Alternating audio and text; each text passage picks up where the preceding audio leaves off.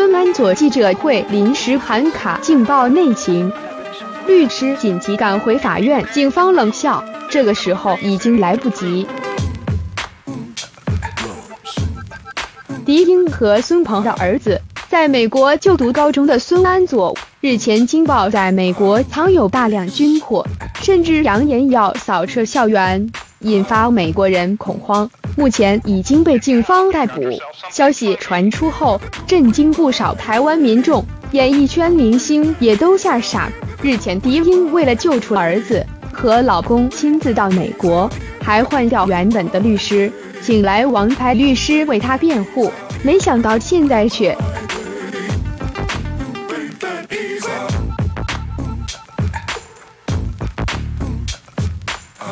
据苹果日报报道，孙安佐原本告诉美国警方，扫射校园只是开玩笑，并表示自己没有拥有枪支。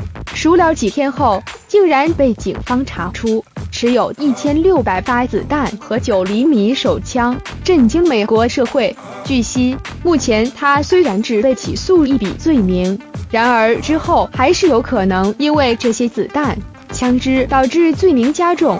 然而，原本宣布要在美国时间星期五今日举行记者会说明，孙安佐的律师却临时取消，原因就是。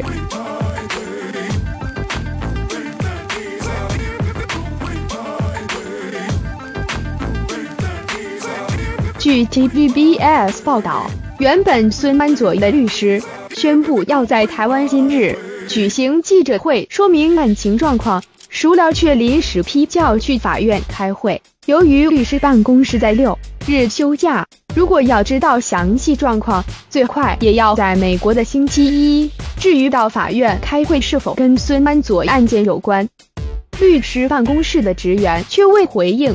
上达比警局警察总监齐伍德则表示，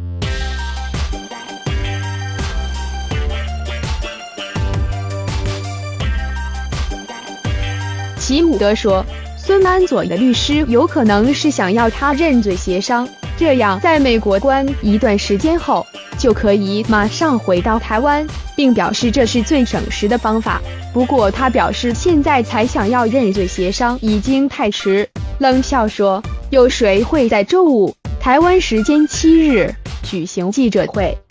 如果是好消息，我只在周一、周二开记者会；如果是坏消息，我就周五下午宣布。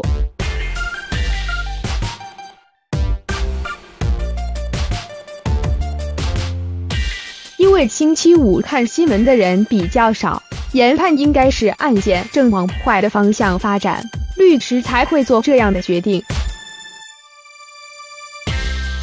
不过，目前孙安佐的律师还未出面说明状况，案件真实情况发展不得而知。希望不是状况变得更糟了。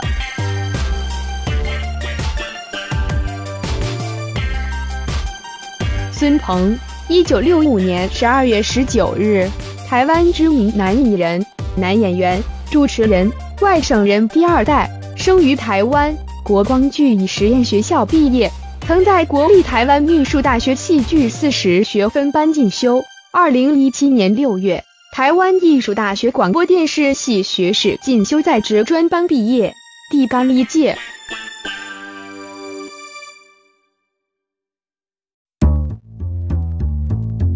是三立电视综艺节目《国光帮帮忙》的主持群之一，也曾参与多部戏剧的演出。